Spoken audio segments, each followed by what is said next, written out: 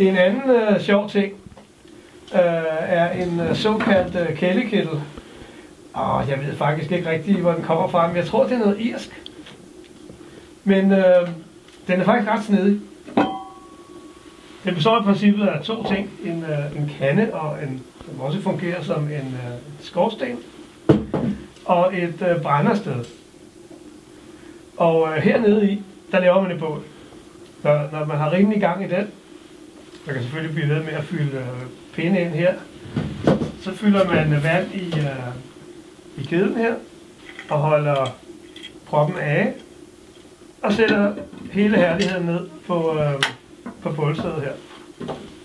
Det der sker herinde er så, at øh, altså man kan se, at den hul som en skorsten, og vandet ligger så i en kappe herinde under, ligesom i en termokande, kan man sige.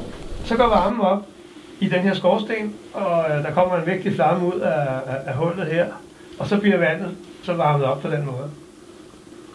Når man øh, så har fået øh, kogt vand, så er det jo sådan set bare at tage sin, øh, sin mug eller sin gryde, eller hvad det nu er, man, man skal have vandet op i, og så bruge øh, kæden her, og så er det bare at fylde på.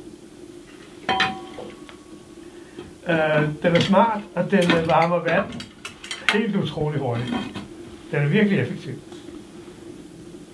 Så det kan være en god ting at have med, for eksempel på kanotur. Eller andre ture, hvor det ikke betyder så meget, om det vejer eller fylder lidt. Den er lavet af aluminium, den er ikke særlig tung.